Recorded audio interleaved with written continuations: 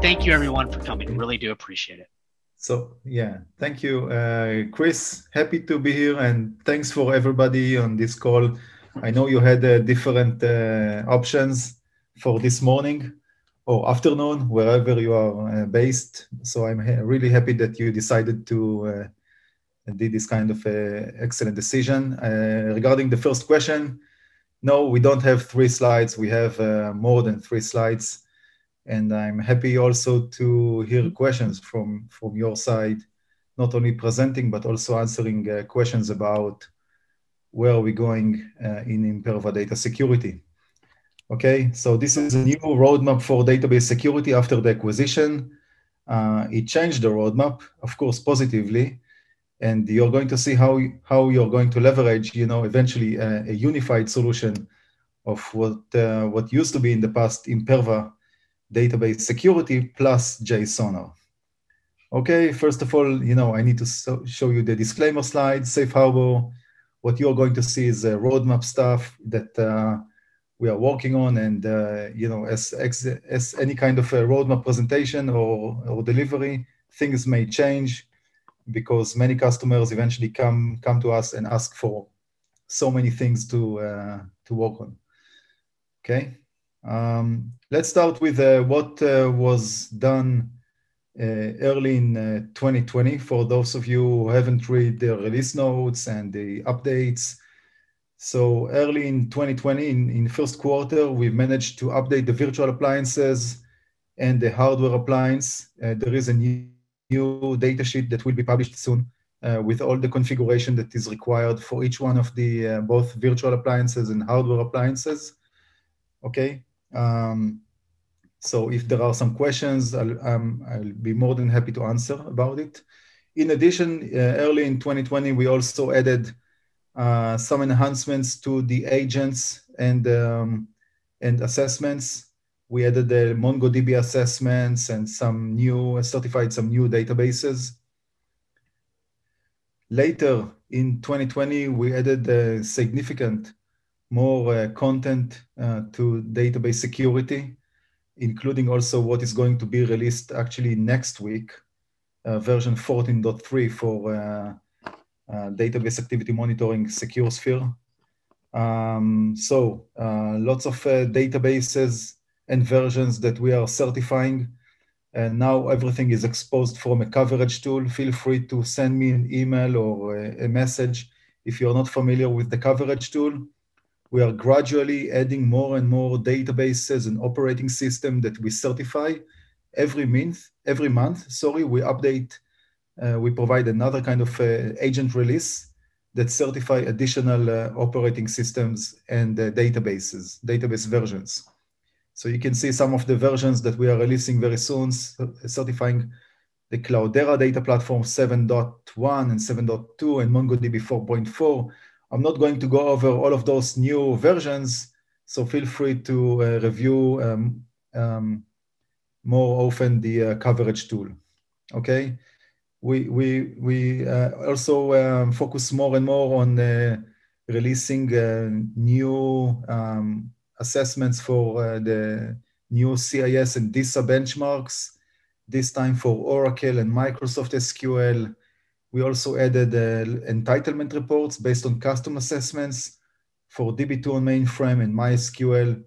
And now we are going to release also assessments for uh, the databases, the cloud databases. Uh, regarding the product, um, major improvements on the gateway. Now you will be able to use uh, less gateways in order to um, support more agents, by the way we managed to add the transaction per seconds of the gateway to uh, by 20%, which is a lot. So in the future, if you expand the solution, you'll need less gateways. Uh, in addition, now uh, DAM is also available uh, for deployment on Google Cloud Platform. So if you're planning to lift and shift your databases and, and uh, also audit uh, cloud databases, now it's also available from Google Cloud Platform. We also added a support for Azure clustering. Okay, and probably one of the uh, major in investment in uh, 2020 was around the user space agent.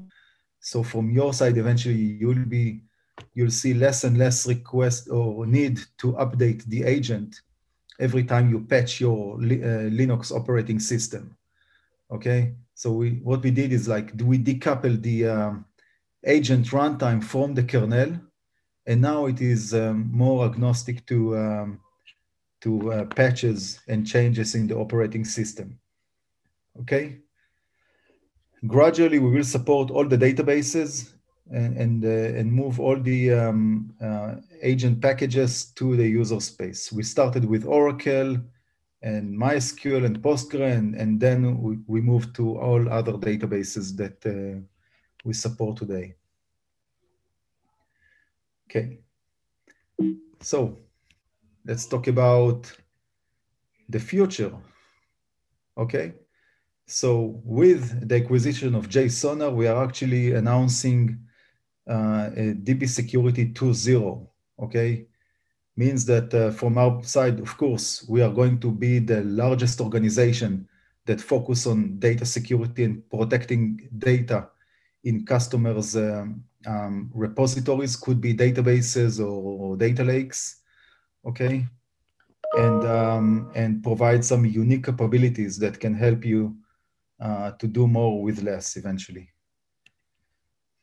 Okay, so with JSONAR, let me uh, give you some uh, overview on JSONAR. What is it, JSONAR? So uh, we heard from you for so many years about, you know, lots of transformations of technologies like moving to data lakes, moving to cloud databases, modernizing your data warehouse to database data warehouse like Snowflake, for example, or BigQuery or Redshift, okay? So we've seen huge amount of transformations from traditional technologies uh, either to cloud or to data lakes. And um, with JSONAR, we believe that um, we are going to cover all of those gaps.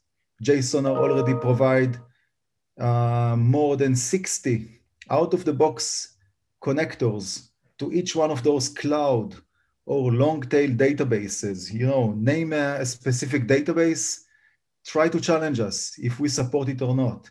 And if we don't support it, we can immediately, um, uh, if you want to expand your solution, we can support this kind of database in less than a month, okay? So please feel free to challenge us on each one of those databases that you ever ask from us to support, or you have seen that your application developers are transforming the technology. Do not hesitate, contact us, and uh, it could be that we already support the database, we can provide audit and risk analytics. Or if it doesn't, if it's not supported, and you can see also in the coverage tool, um, then uh, we, we can uh, immediately provide the support in, in less than a month. Another thing that uh, many of our customers uh, struggled is with reporting, um, in, including uh, be able to prepare for audit reviews so in order to prepare for audit reviews, you need to provide a specific view or uh, run a, a, some slice and dice and uh, maybe export the data to different systems, okay? So now all of those uh, challenges gone. With J JSONAR, you get really a single pane of glass of all of your audit data uh, that is being stored for years Okay, so you can uh, run any kind of uh, audit uh, review for any kind of data from one place. No need to um, uh, consolidate uh, data from uh, many files or export the data to another system. In addition, one of the challenges that we've seen is the need to retain data for up to seven years so from one side, you need to retain the data for up to seven years. Although I heard many customers that need to retain the data for maybe one year, but in, in some cases it could be huge amount of data, like uh, like um, petabytes of data that need to be prepared for an audit review or for uh, or in order to reduce the attack surface. Okay, so uh, with Sonar you have a very very efficient from, uh, from total cost of ownership perspective, a solution that can compress the data in a very efficient way from one side, store the, um, the archive data on a low cost uh, storage, uh, while from the other side, you can use this data for uh, audit reviews. Okay, so data retention is, is uh, something that uh, uh, could be a key for, for the audit reviews. Another thing that I would recommend looking at is the um, uh, are all of those uh, playbooks that uh, provided from JSONAR. You get something like 2,000 integrations to different tools uh, that can be used for remediation. Okay, um, so um, what um, what you can do is run those kind of playbooks and um, use them for um, for fast mitigation and uh, automate some activities. Okay. And uh, one of the things that we hear from also many customers is that uh, they spend a lot, a lot on Splunk, and there is a need to reduce the TCO. Okay, so before you just uh, send all the audit events and the alerts to Splunk, you can store it and run some analytics uh, in JSONAR, and then decide, you know, what kind of uh, um, what kind of uh, audit events or alerts um, can be uh, sent to Splunk. Sorry about it. Let me jump to the slide.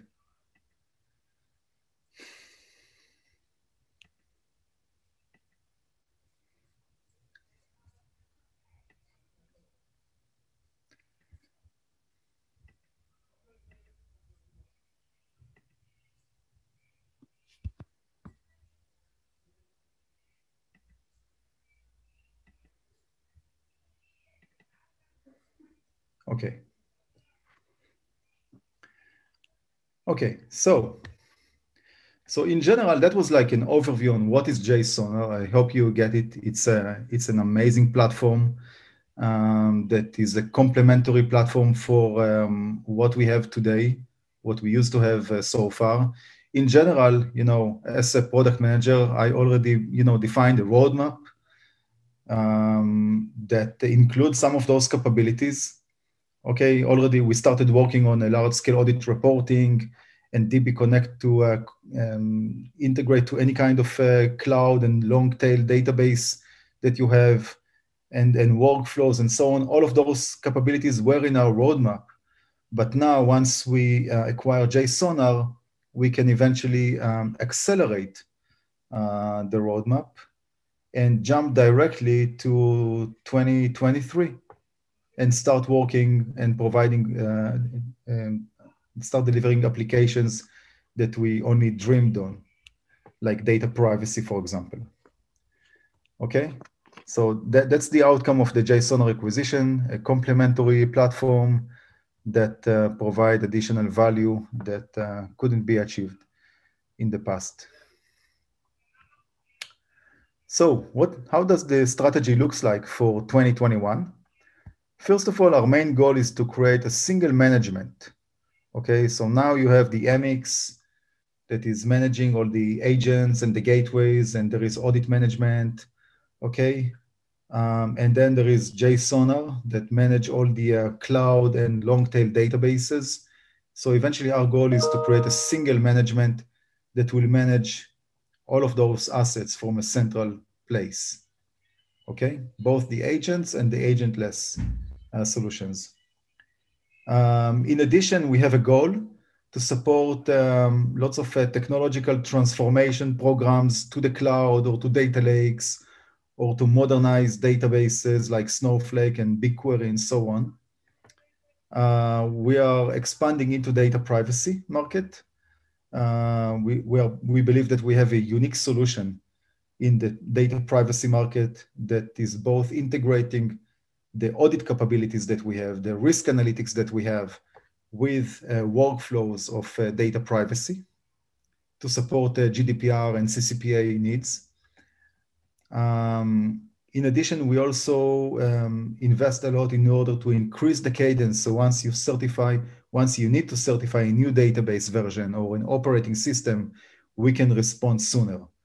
Okay, um, and uh, provide more capabilities to boost the onboarding process of the deployment of the um, scalability of uh, database security. That's our main goal for 2021. So those kind of uh, five objectives are going to lead our product strategy for both uh, DAM, uh, JSONAR, and for some extent also data risk analytics. Okay?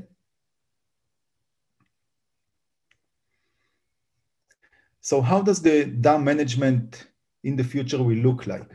Okay? In general, our goal, as I mentioned, is to move to a single pane of glass. What does it mean? It means that a year from now, we are going to release a new version of database security in which you'll have one console that will manage both the agents and the agentless that came from JSONAR. Okay. Um, so if you have like uh, either databases on the cloud or uh, various databases that aren't supported today, you'll be able to manage them from, from the MX, from one single, one large scale MX. Okay, and what does it mean by large scale MX? It means that we are going to gradually remove the reporting from the MX as I mentioned, JSON already come with uh, amazing reporting and analytics capabilities with data retention. So no need to use the MX anymore as your reporting platform. In JSON, you also have uh, embedded uh, database and analytics, and you can customize your own views, reports, slice and dice easily. Okay, uh, so we prefer gradually to remove those reports and um, have a separate DAS server to run all the scans, all the classification scans, assessments, user right management, and so on.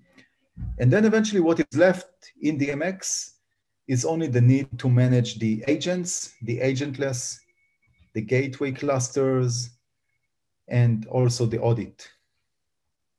Okay? And we believe that with one MX, um, you can manage the entire environment. Of course, uh, at the end, we will publish uh, sizing recommendations uh, of how this kind of environment should look like, and also provide some scripts and capabilities that can help uh, help you, you know, engage with our professional services or do it by yourselves um, to move to this kind of new architecture. So that's what th this is how the management, the future management, is going to look like which is going to be unified with JSONAR.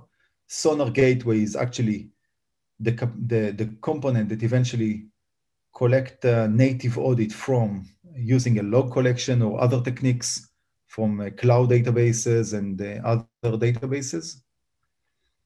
And the gateway is what we have today. Okay, so let's talk about the future of DAM reporting. Okay, we're talking about large reporting eventually leveraging Sonar, Sonar become the single pane of glass from reporting and analytics for us a year from now. Actually, it's going to be available even in um, like in next quarter, okay? But uh, without all the reporting, okay? What we are going to have in Q1 is integrated audit reporting because this is, you know, a challenge that many of our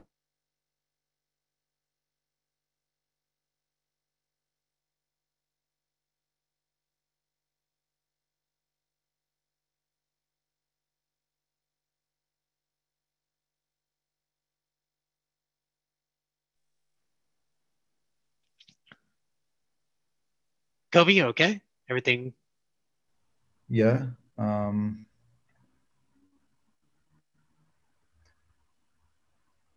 sorry. Something happened to Zoom? Maybe so. Okay.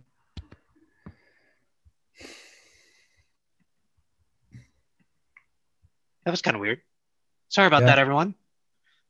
Yeah. Live Uh, live webinars sometimes it just happens.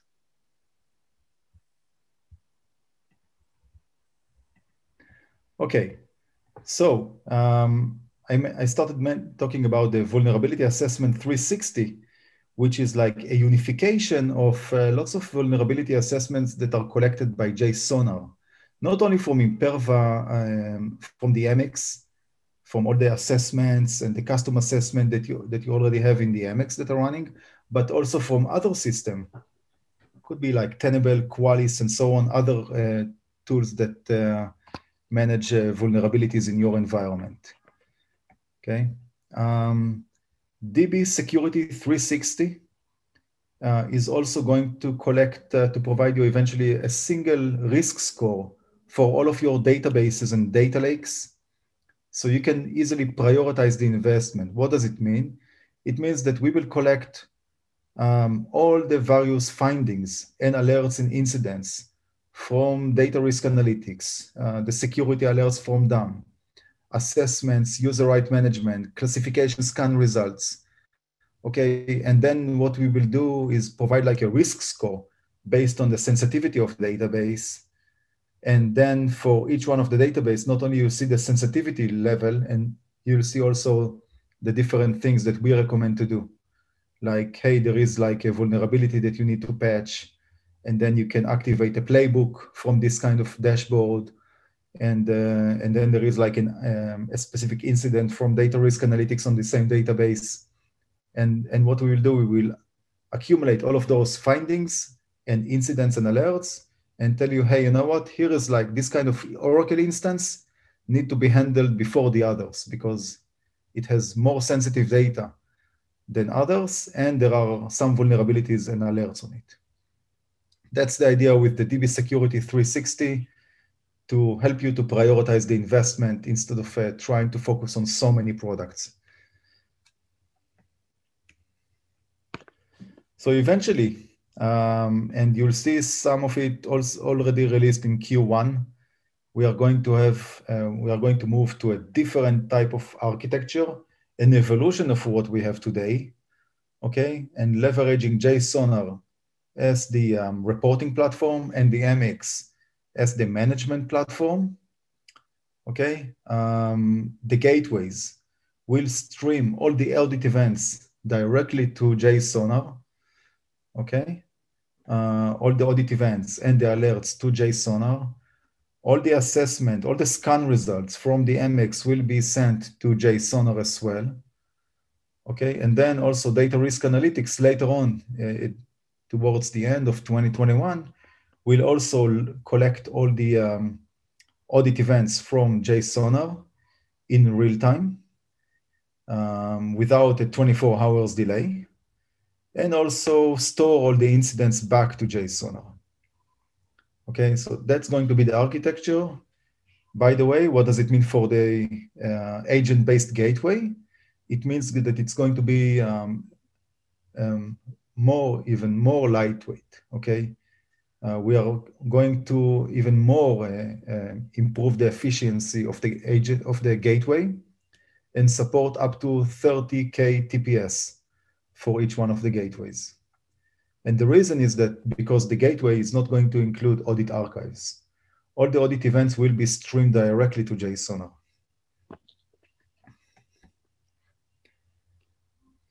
Okay. Um, another kind of capability that we are working on, as you can see from the bottom part, is um, if you already have uh, old audit archives that's stored somewhere like in a NAS or S3, uh, we will provide a capability that will be uh, packaged with JSONAR to load all of those historical audit archives to the database.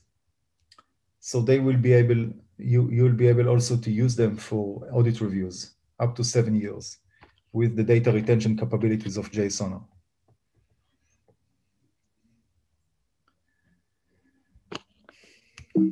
Okay.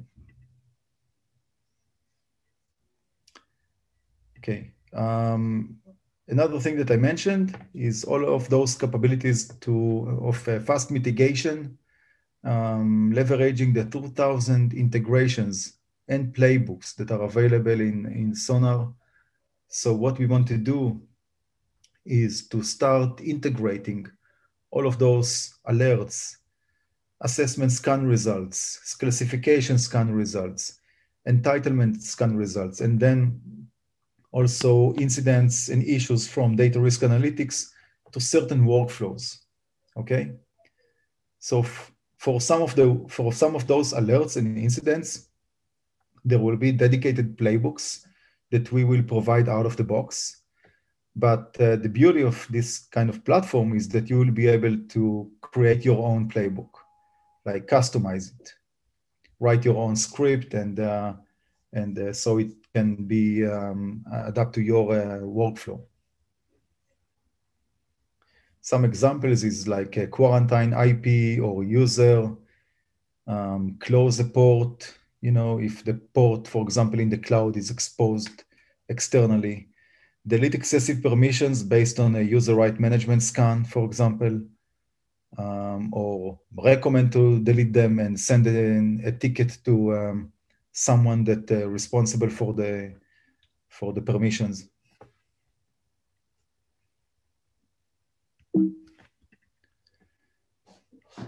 Okay. One of the things that we uh, started to realize is that we need uh, um, to improve the um, coverage and protect better uh, data lakes. Um, many of our customers, as I mentioned, move to uh, transform the technologies, and uh, we've seen lots of programs on uh, on cloud transformation and moving to data lakes and, and modernized data warehouse. And um, we would like to provide better protection and audit capabilities for those environments. So, so the audit activities, most of them, the good news is that uh, they are already audited and uh, we can collect the native audit using JSONAR of most of those environments, by the way. And, um, but what we are still missing are all of those um, assessments that we want to run um, and scan different type of misconfigurations based on CIS and DISA for um, for various uh, uh, cloud databases and, and data lakes. Okay, so first of all, we want to provide at least you know recommendations to reduce the attack surface. But then from the other side, we would like to also integrate it to those uh, playbooks and for some of them run some remediation okay? Um, we would like also to discover sensitive data in S3 or in your Hadoop that is delivered as uh, AWS EMR or Azure HD Insight or Cloudera data platform on the cloud. Or maybe you have data, sensitive data in your Azure blobs or S3 buckets. So we would like to um, deliver, you know, a scanner that will be able to uh, discover sensitive data in each one of those uh, um, technologies.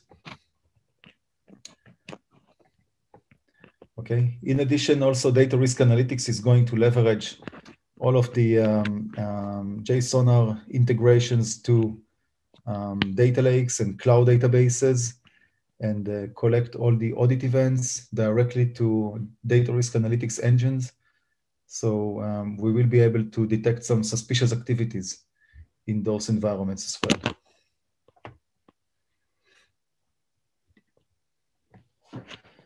Last are the improvements around classification. We are currently working on modernize the classification engine um, that um, will help us to, as I mentioned, with the DB Security 360 to um, map the risk based on uh, the detection of sensitive data. Could be PII, could be uh, um, other type of sensitive data. Um, detect sensitive data on the fly. Many of the applications are are being released uh, on weekly basis, more often to the cloud. So it could be that uh, new tables and new columns with sensitive data deployed by the development teams. And um, if you don't catch it um, on the fly, then you may miss um, some personal identification that is being stored in a certain table. And, um, and, uh, and this could be like um, a risk from your perspective. Uh, coverage, uh, more scanners for more environment like Hadoop, data lakes, um, um, and uh, cloud data warehouse. And um, of course, better user interface and also to improve the accuracy of the uh, classification. Um, what the beauty of it is that it's going to be a platform that will serve both uh, database security and data privacy. Data privacy in terms of uh, be able to um, detect more PIIs and understand whether they can track back to a certain data subject that may request, you know, to be forgotten or may request for data portability and so on. Or for database security, just to understand where sensitive data is being stored and uh, be able to audit it. Okay.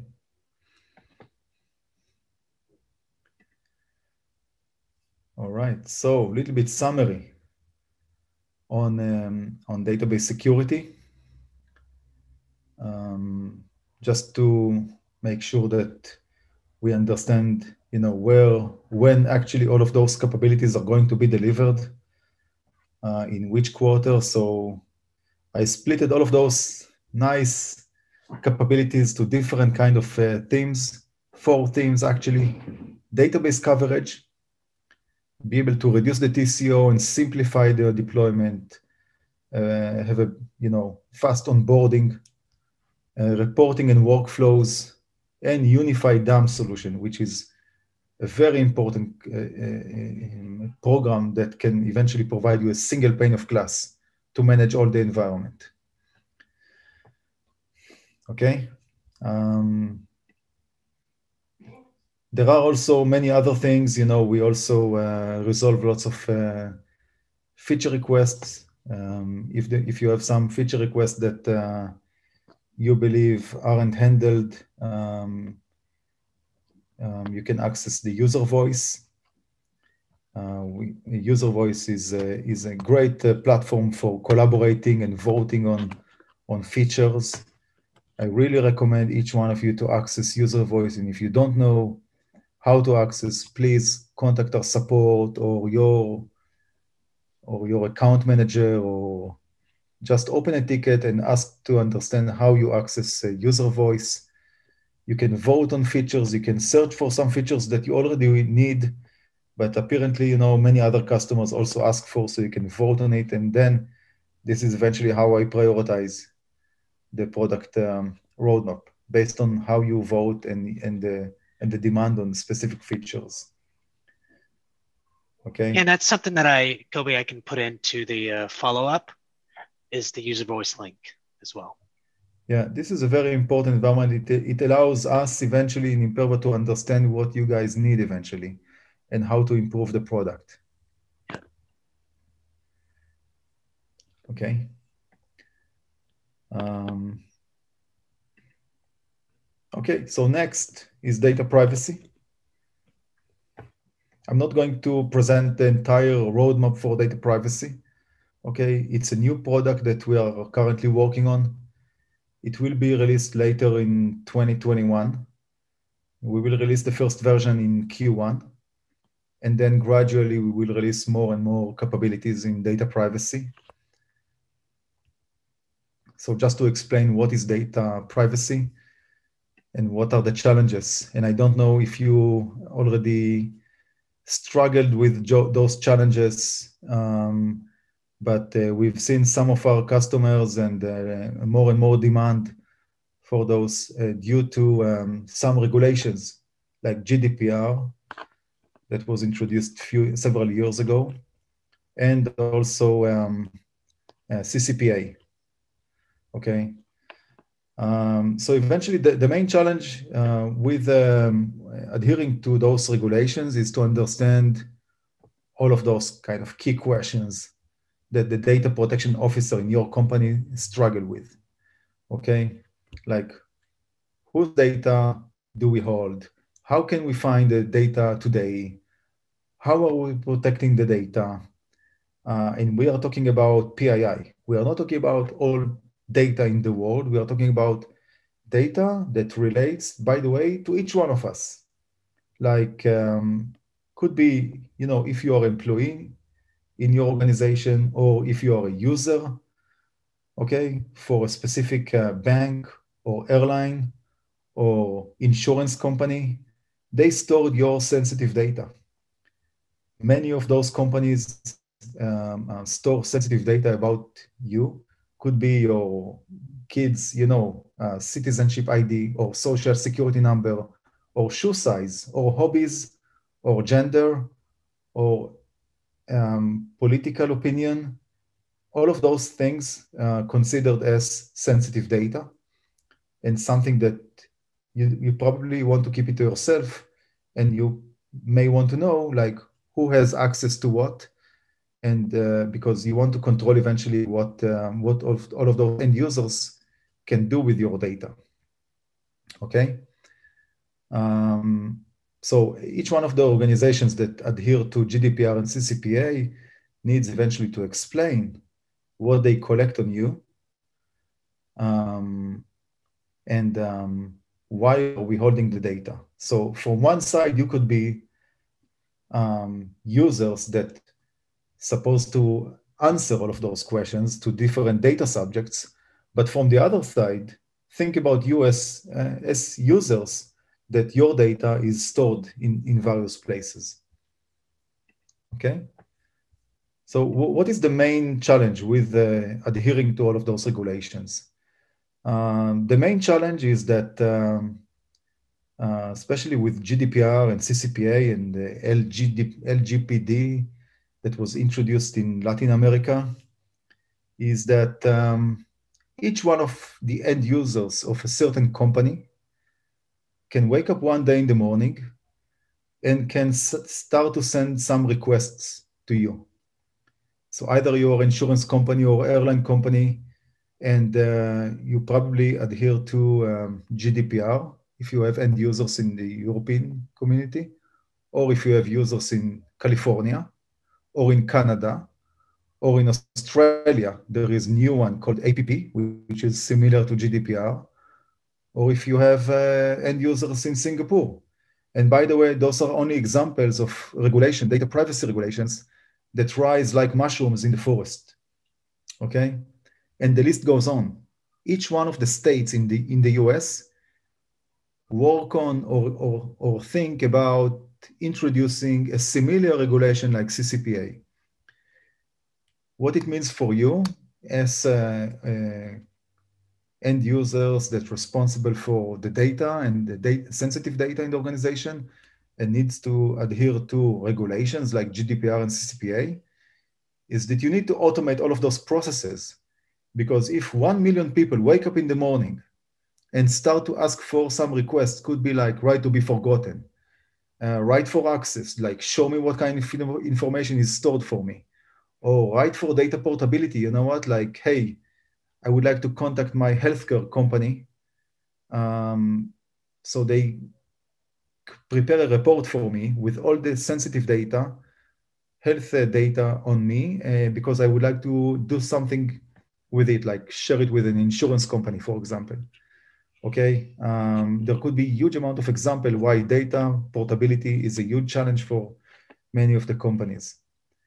Um, so think about, you know, you as end users, could be any kind of company in the world, receive like 1,000 requests in a day to prepare some reports for specific end users could be bank end users, insurance company end users, and so on. Okay, this is why it is more and more critical to automate all of those processes. So how does the process looks like? Okay, there is a specific workflow for data privacy, and it is it is different than database security. I can tell you, it can leverage database security for some extent, and leverage some of the investment that you already did, but it requires more focus on correlating the PII, which is the key in, a, in each one of the data privacy solution. So what you need to do, what needs to be done all the time is to be able to correlate PII. What does it mean? It means that, let's say that Kobi, you know, like my social security number and gender is stored on MongoDB. and there is other kind of information like my hobbies stored on S3 buckets. Okay. There needs to be like a, a, brain that will be able to correlate it in real time, all the time, continuously, detect some new tables and new columns with sensitive data, not only sensitive data, but PII data, figure out that, you know, this kind of data needs to be correlated to the data in MongoDB because when Kobi asks for a specific uh, request like data to be forgotten, okay, um, I need to be able to show Kobi like one picture. Okay, I don't care as an end user that you know some of the, my PII stored in MongoDB and others in some certain S3 buckets. I don't care. All I want to understand is like what kind of information, PII data, is stored by this company on me. Okay. So the ability to, to, to, to support requests is critical. Uh, adhering to SLA per GDPR and CCPA, there is like a 30 day SLA for replying to each one of those requests. And accuracy is critical. Be able to accurately provide back all the PII that is being stored. And of course, there is an audit by an auditor that uh, review all of those processes and the accuracy of the uh, PII information that is stored for each one of the data subjects.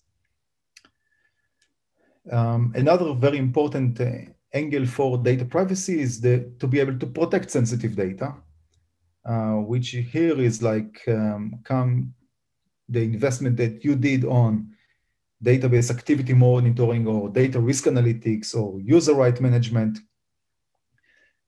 If you already invested in those areas, then it will help you to um, build a, a, better, a better solution, more efficient solution, and uh, and uh, for for data privacy. And the reason is that whenever data sensitive is discovered, the next thing that you want to do is to audit it and the second thing that you want to do is to understand who is, what are the user rights for this kind of PII data? Like who are the users or maybe the applications that can access this uh, sensitive data? Um, okay.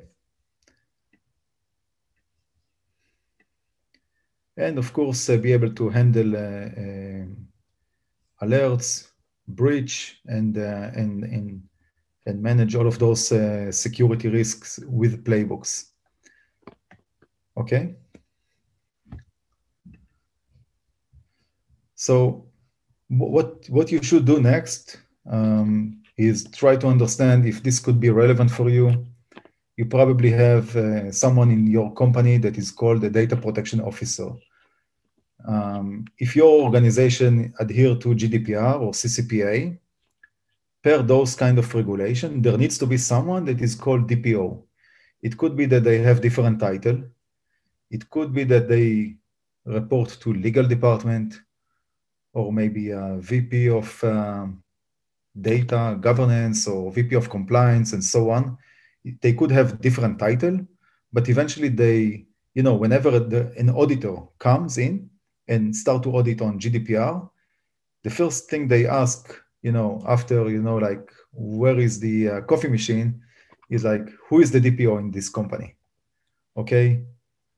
So, uh, so DPO is someone that uh, responsible eventually for all of those uh, processes, requests, and, and making sure that there are no not going to be penalties. And penalties is, is something that you need to be aware of if you aren't able to, uh, to respond for a, for a GDPR or CCPA request on time, like in, in 30 days, you get penalties. And if you're interested, by the way, search in Google for GDPR penalties or CCPA penalties. I assume there are more penalties on GDPR because it's like started a few years earlier. Um, you'll be surprised to see very famous companies that had to pay like uh, $20 million penalties on GDPR, $30 million on GDPR, and so on. Okay. So this kind of uh, challenge, so this is the main challenge for this guy that is uh, that is the data protection officer. Um, so there are the capabilities of a data privacy solution um, be able to uh, all the time be able to track continuously for PIIs. Capacity management is very, very important capability for data privacy. You know, from one side, you need to understand how many requests per day I have, like data subject access requests from specific end users. How many PII I have, okay? It's like how much it takes time to search for, for PIIs, correlate PIIs and so on. And eventually how many data owners I have that can actually manage the entire solution, okay? Because if I don't have enough data owners, um, then that could be a challenge you may you may have you may face more and more penalties. Most of the GDPR requests can't be handled automatically, unfortunately, like right to be forgotten. Right to be forgotten is something that you will have to do manually in most cases due to a conflict between different regulations. Okay, in some cases you need to store to retain data for seven years.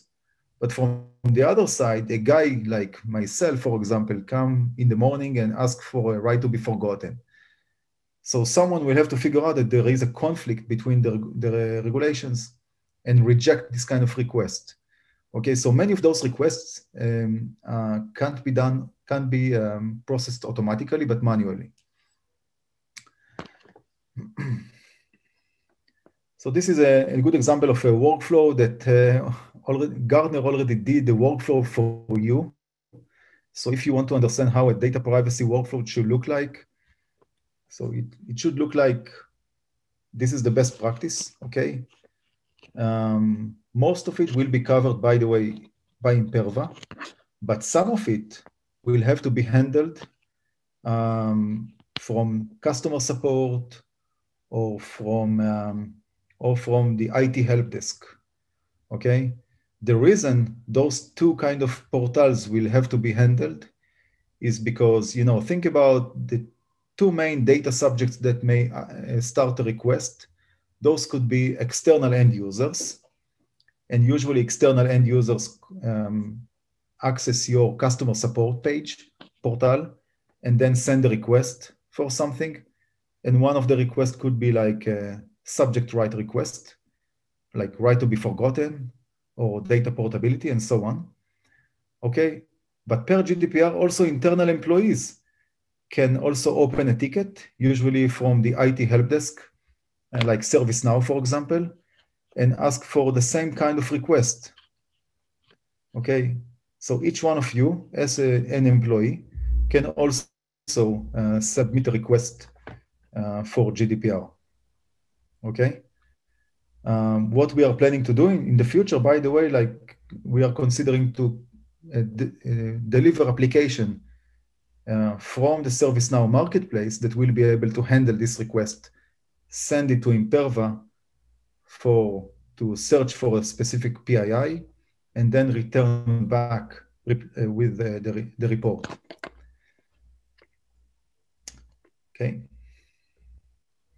Kobi. We do have lots of questions in the chat. So I don't know how, how many more slides we have, but I'll try to get some of those. Yeah, I think that what we can do, we can start to summarize. Eventually, we can schedule a follow-up meeting on your data privacy.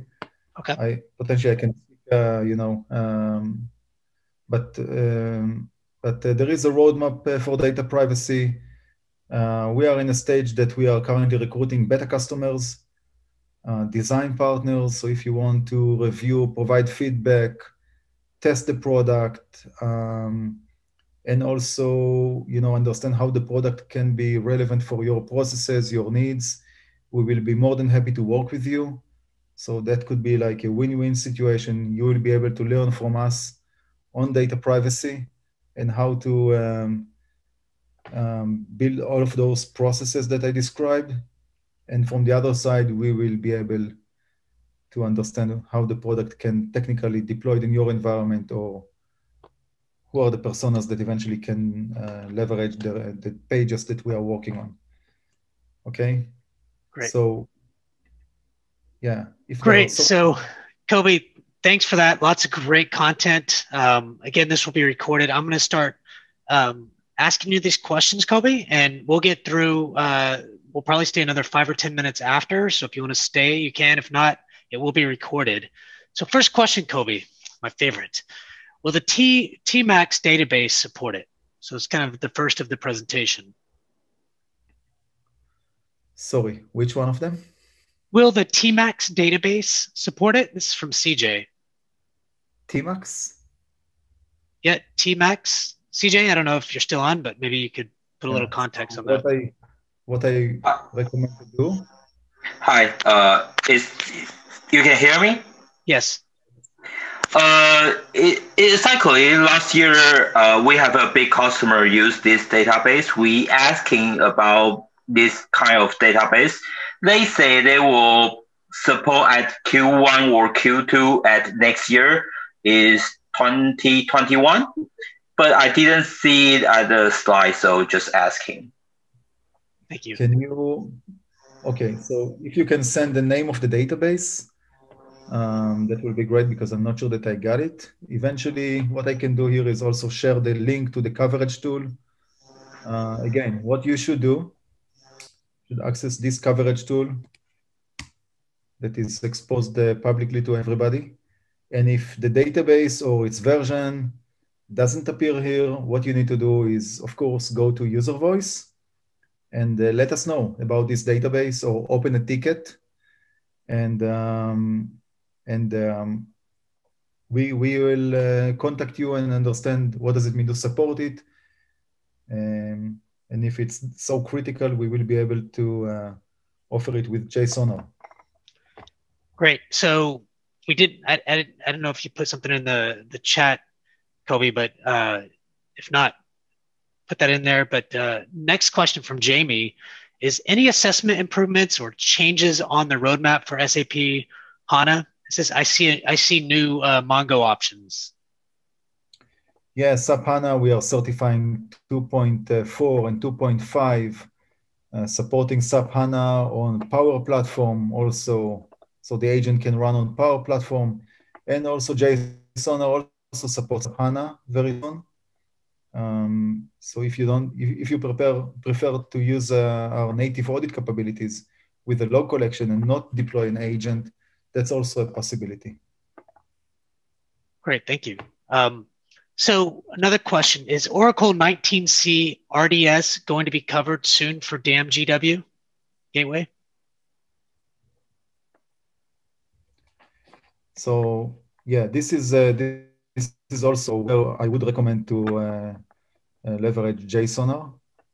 It has uh, very powerful capabilities to support cloud databases. Um, and okay. um, and gradually. Is that a no? yeah, I mean, uh, we will invest more and more on cloud databases with JSON in the future. Okay, so right now it doesn't cover it, but uh, we that is something that we're looking at. Is that is that a correct statement, Kobi? Yeah. Okay, good. Um, so is there any overlap in technologies that JSONAR supports to what was previously supported? Yes, um, the overlap, as I mentioned just now, is around the log collection. In, in the past, so far, you know, the gateways, the Imperva gateway also supported collect log collection of native audit from cloud databases or, and for some of the on-prem databases as well. Okay, um, and this overlapped with the, the log collection of the Sonar gateway. Okay, so we believe that the Sonar gateway um, log collection is uh, a better choice.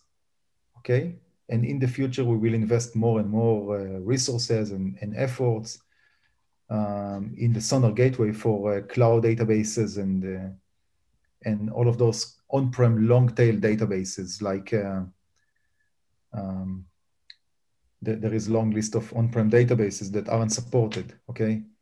Like Progress, for example, or CouchDB, okay? Some on-prem databases or Vertica that I, I heard, or Neo4j, mm. on-prem databases that, aren't supported today by DAM we are, are already supported by Imperva uh, JSONAR. And if not, as I mentioned, um, we will be able to provide the support in a few weeks.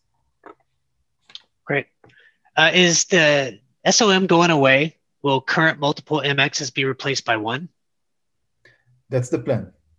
Okay. Um, regardless how many MXs you have, we will provide scripts and services that will move all of your configuration from all of those MXs to a large scale MX. There will be actually two for active passive mode, okay, for redundancy. But eventually, um, you won't need you won't need many MXs, more than one, to manage all of your configurations. You'll need one to run all of those scans that you have, and you'll need another one for managing the agents and the gateways. Cool, thank you. There's a question. Can I, I add was... to that? Ahead, yep. It, it's Bob. Um, sometimes MXs are placed in specific regions due to GDPR or uh, specific country requirements. Um, so we're able to put MXs in those countries. The SOM manages those just by pushing the same policies to all the MXs. That makes sense.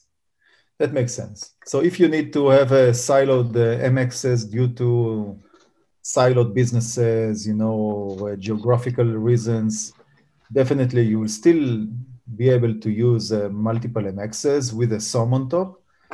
But uh, if there aren't such uh, needs, then th- there is no any reason why you need um, more than one MX. Thank you. Um, the other question, and I think this was answered. So, is the SOM a physical appliance? And then Bob said, no, it's a VM to manage multiple MXs, right? Just want to make sure I got that right. Yeah, that's right. Okay, good. All right, thank you. Um, and then Jana asks, will CDS continue to be supported or will that be replaced by JSONAR? CDS will continue to be supported, definitely. Um, uh, CDS is um, direction uh, will be more towards um, uh, like born in the cloud businesses, SaaS. So any each one of those companies that need um, a SaaS solution, the, the the solution, the preferred solution should be CDS. Okay. Yeah, and CDS is cloud data security, just in case no one yeah. or not everyone knew. Um, the other question. So these two questions funny because they were asked on I think it was the last or one of our JSONAR um, things, but will DRA still be required for analytics, or we, will JSONAR do the analytics?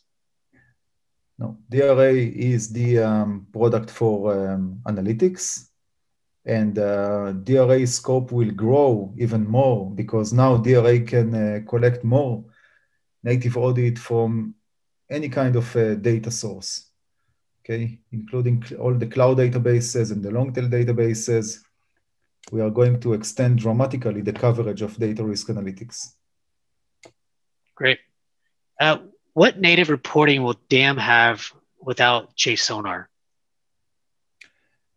So currently there, there are reporting capabilities in the MX, okay, audit, um, forensic, and, uh, and other reporting on the on the um, assessments and so on. But uh, keep in mind that gradually um, will become the preferred reporting solution and all the investment that uh, most of the investment will be shifted to JSONAR to improve its reporting and Got integrate it. them to uh, to Imperva products. Okay, and and around playbooks, um, he said it was very interesting. Uh, Eric said this. Uh, there's is there simulated date for playbooks? Is there, I guess, a estimated date for playbooks? I don't know, Eric. I'm not really following the question. So if you want to, if you're still here, might want to just take yourself off mute and ask.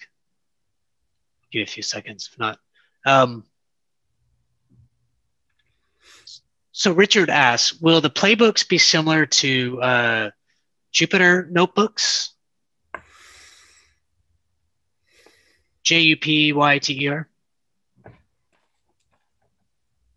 Um, suggest to take it offline. Okay. Maybe uh, could be opportunity for another uh, um, webinar session on on, on Sonar uh, playbooks. Okay. Yeah, it's probably a good point. Um, yeah. Maybe we can answer some of those questions through another webinar. The next webinar we'll probably do is more January, February. Uh, what about uh, Popia for South Africa? P O P I A. You were showing that little uh, graph of uh, that little place that we're protecting. I can't remember the slide, but Shamal, I don't know if, if you want to. So Popia POPI is similar to GDPR. It's compliance. It's now compulsory in South Africa. Mm-hmm. Yeah. So so far, I need to admit, I, I, I, reviewed only the laws of the GDPR and CCPA, more GDPR. I haven't looked at uh, the other uh, regulations, um, but uh, we will get there. We'll get uh, to each one of them. I assume uh, there there is like overlapping between uh, all of them, you know, but um, this is something that we'll have to get into and understand how it works, what kind of you know requests, you know, the, the, the ability to search for PIIs, correlate PIIs to a data subject is is probably a common you know need for in order to adhere to all of those regulations. But there may be some changes, you know, by laws, like the SLA, times to take you to provide an answer for a data subject, or, or uh, handling the request and, and the, the nuances of the law could be different. Okay, so we, we need to review this. Um, Great.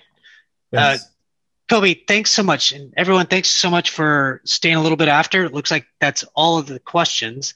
It looks like there could also be some follow up webinars in, in the future, maybe Q1 of next year. So, certainly excited to ping Kobi about those. Um, but uh, keep the questions coming. Uh, post those in the community, and I'm always here making sure that those questions are answered uh, as much as I can. Uh, and and we'll have experts and hopefully others like yourself answering hopefully answering those kind of questions. So hopefully this was helpful. Uh, you know, this is, I know this is something that you guys have been wanting for a while, and so here it is. Lots of uh, really good content that Kobi shared. So Kobi, thanks so much Thank for you. your time. Uh, everyone else, thank you again for coming. And don't forget to come and sign up for the next webinar, which is two weeks from now. Um, and it will include some of the hardest hitters of all of uh, Imperva. So you get our CTO and our uh, uh, leader that runs data security uh, in, in both Ron and in um, uh, Kanal. So thank you, everyone. Go sign up today for the next webinar. Kobi, thank you so much. Super awesome. This will be recorded and posted on the community soon. Uh, so all you have to do is go to community.imperva.com and do search hashtag webinar, and you'll see that webinar there in the next few days. So thank you.